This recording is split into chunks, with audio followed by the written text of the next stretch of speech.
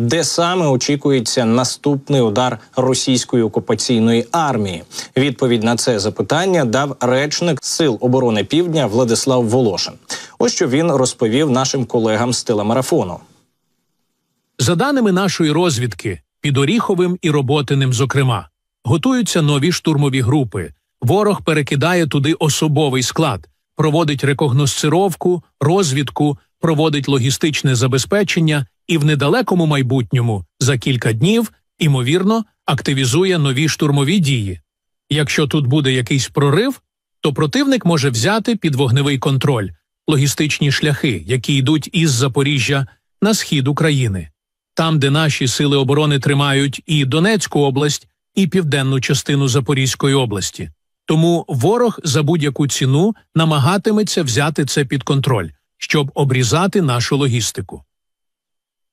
Я хочу підкреслити, що це лише один із можливих напрямків ударів російських окупантів. Пан Волошин є речником Сил оборони Півдня і коментує саме ті події, які стосуються цієї ділянки фронту.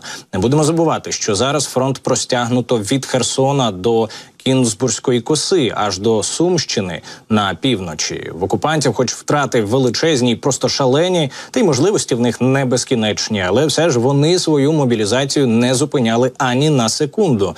Натомість українська активна мобілізація лише почала приносити значні результати кілька тижнів тому, як кажуть військові, коли десятки тисяч мобілізованих, які пройшли підготовку влітку, почали потрапляти в бойові частини.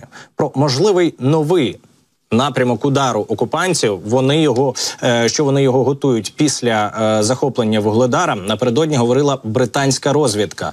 У мі 6 прогнозують цілком імовірно, що російські війська спробують продовжити просування за вугледар упродовж кількох наступних тижнів. На заході однієї з імовірних цілей є селище Велика Новосілка Запорізької області, е, що розташоване на трасі Т-0509. За 8 кілометрів на північ розташоване село Богоявленка від так званого запорізького відтинку фронту. Це насправді не так вже й далеко.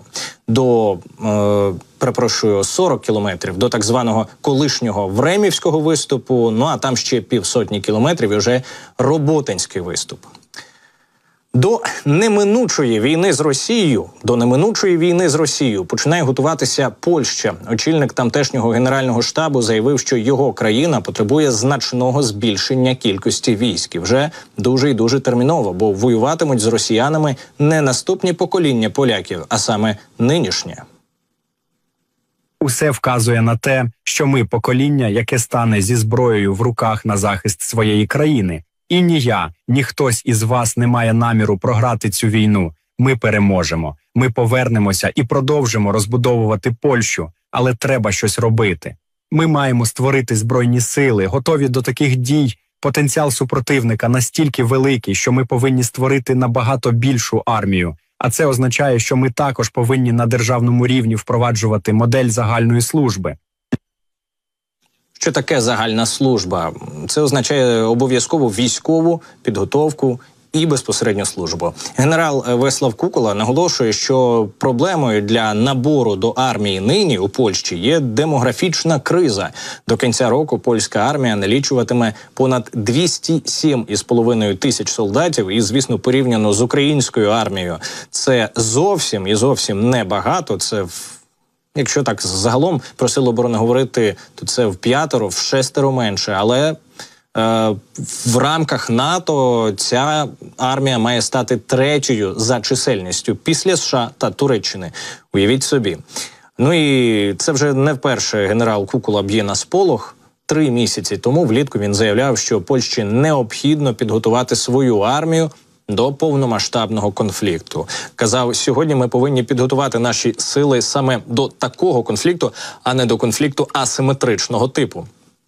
Це змушує нас знаходити хороший баланс між прикордонною місією та збереженням інтенсивності підготовки в армії. Прикордонна місія, якщо говорити про Польщу, мається на увазі збільшення військ на кордоні з Білоруссю у зв'язку з неадекватною військовою і невійськовою активністю Росіян і білорусів в регіоні. Нагадаю, вони там не лише збільшують чисельність своїх військ час від часу, але і просто кидають на такі от е, беззбройні штурми, але дуже небезпечні штурми мігрантів із країн Африки, Близького Сходу і Центральної Азії. Чому? Тому що вони в такий спосіб дестабілізують ситуацію, задіюють і відтягують значну частину польських прикордонників, і власне е, також змушують польські системи, державні установи, польські органи значною мірою опікуватися тими, хто все ж проривається до цієї країни, відловлювати їх, е,